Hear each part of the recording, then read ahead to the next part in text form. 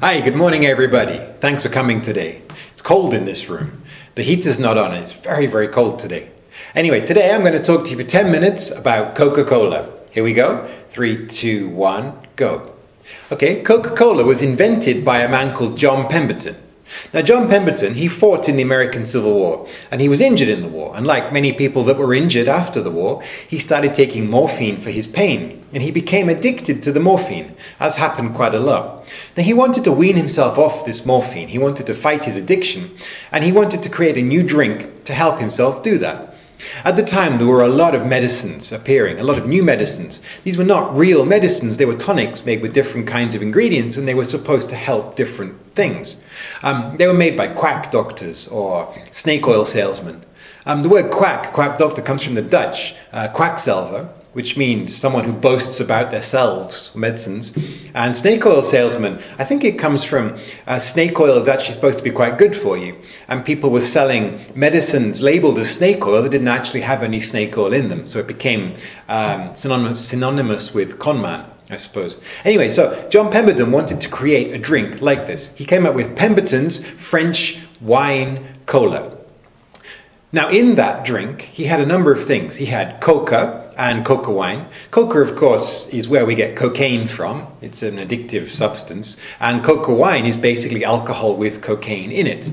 He had a cola nut, which has caffeine in it, and he had a plant called Damiana, which has quite a bitter taste. Anyway, he mixed all these ingredients together and he made his Pemberton's French wine cola and started selling it. It was moderately successful.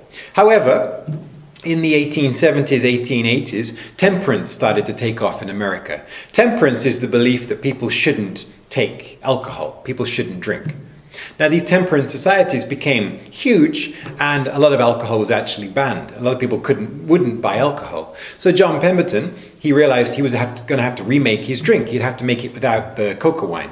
So he did. He basically tried a lot of different substances, a lot of different ingredients, and he came up with his cola. Now, in the beginning, it was just a drink. However, in 1886, he accidentally mixed the syrup with some soda water and made the fizzy coke that we have today, of course. He started selling the syrup. The very first shop that bought his syrup was called Jacob's Pharmacy, 1886. They started selling it. But of course, it was sold as a medicine. It was a nerve tonic. It was supposed to help headache, stomach, in, stomach uh, ache, indigestion, a lot of things like that, impotence. It was supposed to basically cure anything that was wrong with you. It was a, a medicine. Now, in 1887, a man called Asa Griggs Candler, who's going to become huge in the Coca Cola story, he became interested in this product and he started buying bits of the company from Pemberton. Now, 1888, about two years after it starts, Coca Cola is being sold in four stores, only four shops. Of course, it's sold as a syrup. What people did back then was that you had um, soda fountains, you had shops that would sell drinks, restaurants or cafes.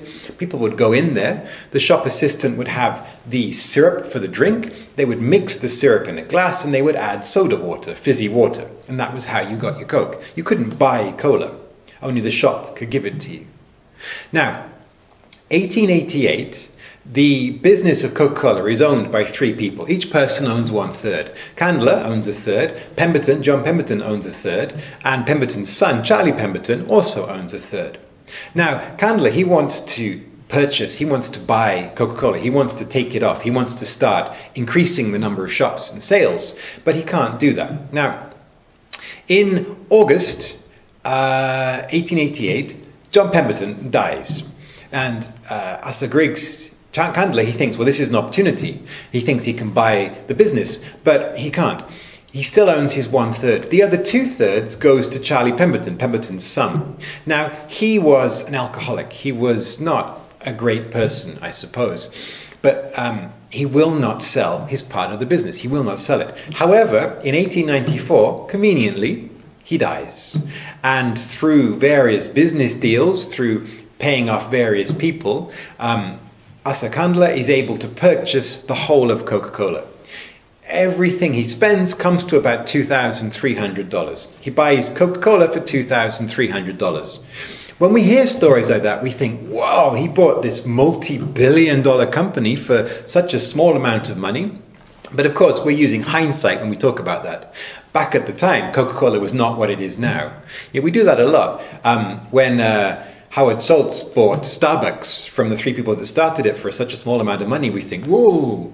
When um, uh, when McDonald's was bought from the brothers, people think, whoa. But of course, we're applying hindsight. The companies were nothing like they are now. The people that bought them made them what they are. So Asa Griggs Candler, he is now the sole owner of Coca-Cola.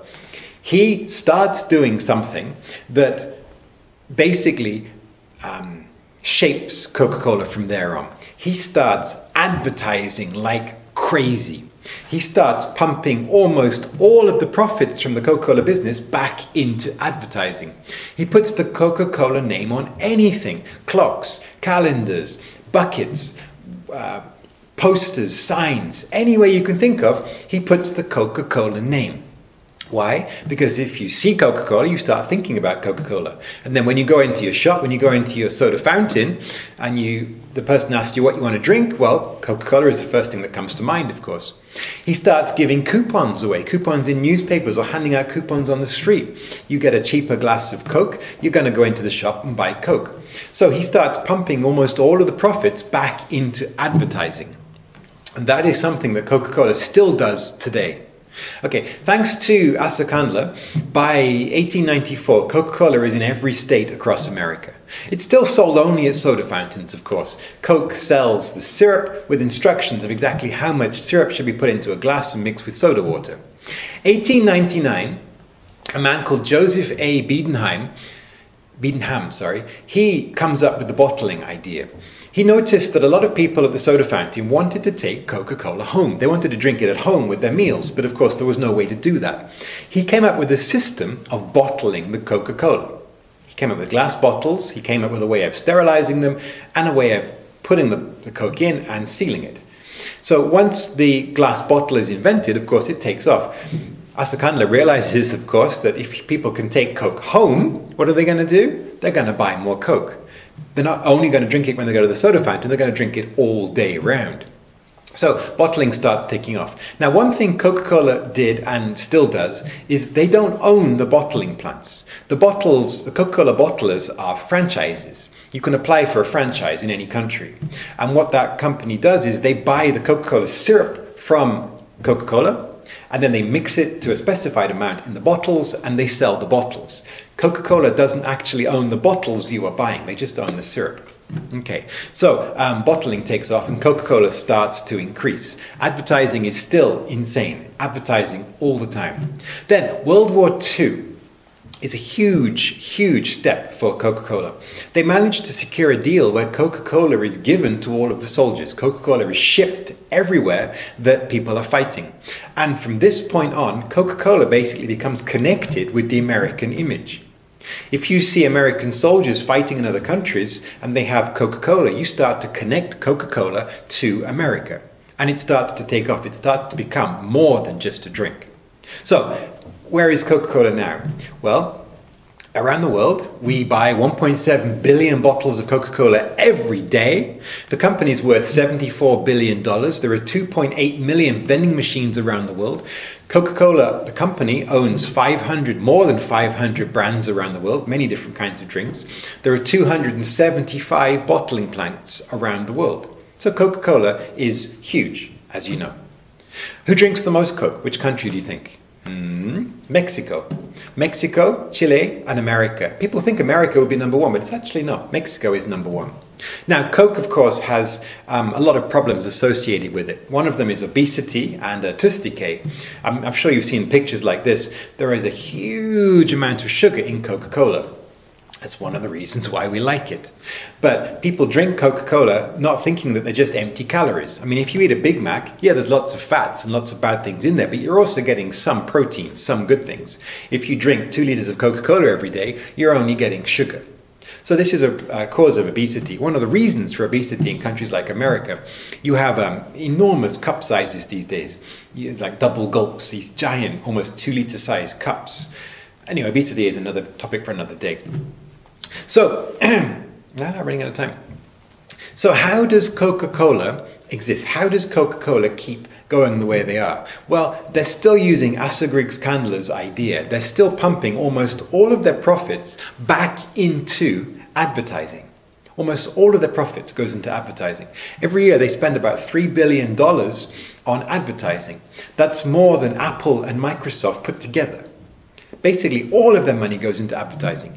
Everywhere you go, you see Coca Cola. Out of all the brand names in the world, Coca Cola is the most recognized around the world. There are very few people on our planet who do not know what Coca Cola is. Ah, I ran out of time. A little bit more. Okay. Now, one of the problems Coca Cola is facing now is that sales are stagnating. In the world, everybody drinks Coca Cola. In the developed world, there are very few people who are going to start drinking Coca Cola. Everybody already drinks it. So Coca Cola has to find new markets.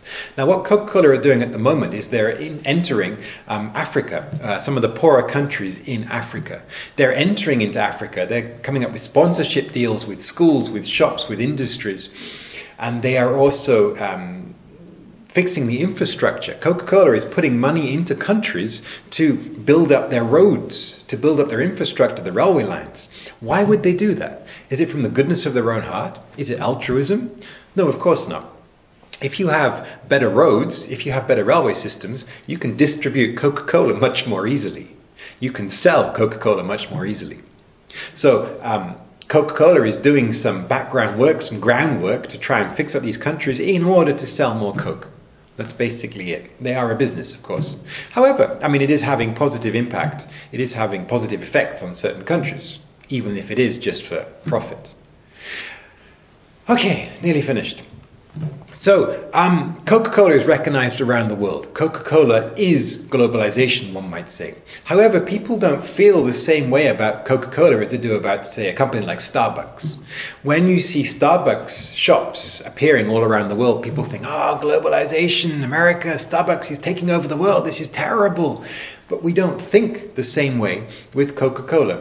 Coca Cola is associated with America, was associated with America. But now, it's just a drink. Coca Cola has become to us what water is. We don't think about Coca Cola as American. We don't think about Coca Cola as a giant company taking over our world. We think about Coca Cola purely as a drink. It has become to us basically what water is. So Coca Cola has managed to do what Starbucks has not managed to do. They have managed to become more than just a company. They have managed to become something that we cannot live without. And that started because of Asa Griggs Candler. And that's Coca Cola. Thank you for listening. Don't forget, if you click in the link in the description, if you click on the link in the description below here, you can go to my homepage, stevenaskew.com, and you can find uh, the transcript for this talk. You can find questions, multiple choice and essay type. You can try and answer them. You can improve your English. There are answers there as well, and you can download the MP3. If you try the questions, if you work, if you practice, if you listen, your English will improve, I hope. Anyway, thank you. I'll talk to you next week. Goodbye.